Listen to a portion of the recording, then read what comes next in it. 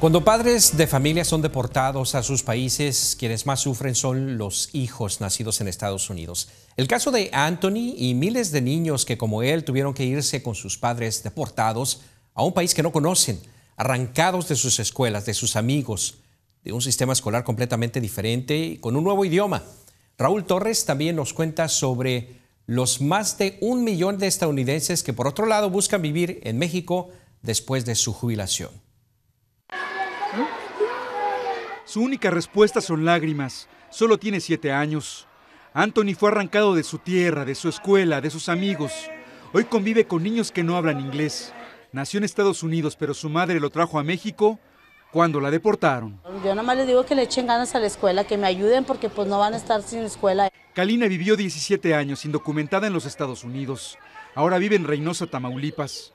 Anthony es parte de los casi 600 mil niños estadounidenses que viven en México la mayoría con sus padres deportados. Mi mamá no tenía papeles y estábamos separados de ella. Eunice y su familia vivieron lo mismo. Cuando deportaron a Noemí, su mamá, sus hijos la acompañaron. Les tomó meses ir a la escuela, no tenían documentos válidos. Nos ponían al corriente en una clase y así podíamos nosotros estar al corriente de todo lo que hiciéramos. Pero son malos adultos estadounidenses que viven en México. Junto a los niños suman más de un millón y medio y es una cifra que va en aumento. Ajijic en Jalisco es un paraíso para los estadounidenses. Dicen que por su clima, porque todo es más barato y porque, aseguran algunos, están lejos de Donald Trump. Y ahora con la política que, de Trump, pues, pues ya está muy dividido el país. Así que esta tierra es la opción para los migrantes que llegaron del norte. En México, Raúl Torres, Noticias Telemundo. Mire, la grave crisis social y política en Venezuela y la violencia en México nos hace a los medios de comunicación muchas veces no poner tanta atención a lo que está ocurriendo en otros países de la región, como la crisis política de Nicaragua, por ejemplo. Comenzando hoy y dentro de las próximas semanas, le voy a presentar una serie especial sobre la crisis que se vive allá en Nicaragua y que ha hecho que miles de nicaragüenses salgan huyendo de su país a refugiarse en otras naciones, en especial Estados Unidos Muchos de ellos han escogido Indiana como su nuevo hogar. En esta primera parte habla Rafael Solís, ex magistrado de la Corte Suprema de Justicia de Nicaragua y amigo de la pareja presidencial, y cuya renuncia a su cargo causó gran sorpresa a los aliados del régimen que hoy lo acusan de traidor. Desde Costa Rica, donde hoy está exiliado, nos cuenta el porqué de su salida en medio de la crisis social y política que enfrenta el país. Liana Astorga tiene los detalles. La gran aventura del Frente Sandinista de Liberación Nacional se ha desatado. Nosotros nos metimos por ideales hace 40 años a, una revolución y a votar a Somoza y después terminamos en esto, en otra dictadura.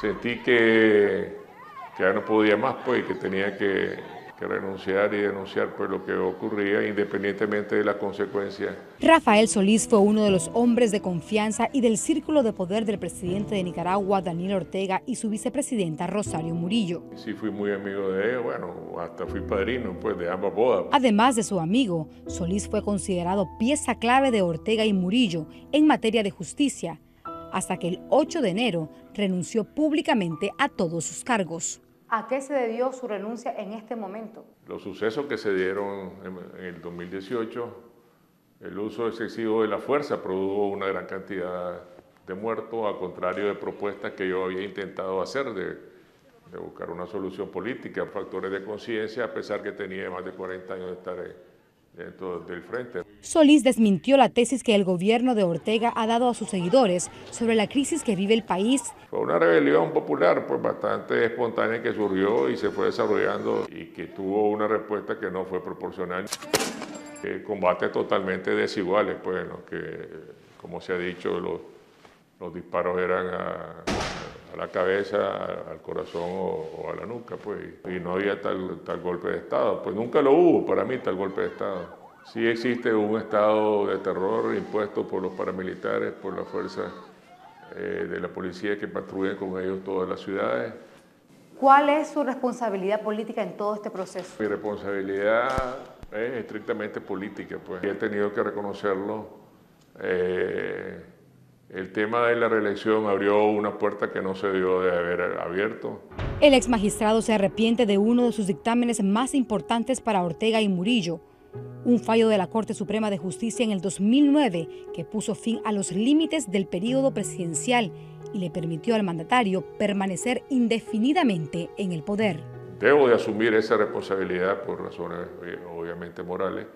Eh, a mí me correspondió coordinar la comisión dentro de la Corte que, que consideró pues, que el artículo debía ser declarado inaplicable. Fue un error. En su carta de renuncia, Solís responsabilizó a Ortega y Murillo del derramamiento de sangre del último año y además los acusó de encabezar un régimen totalitario y cruel.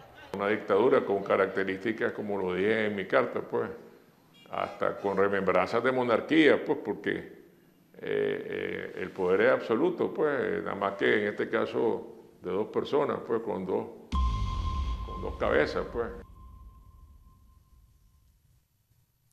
La próxima semana la segunda parte de esta serie de reportajes sobre la crisis en Nicaragua. Una pausa, regresamos con más en contexto.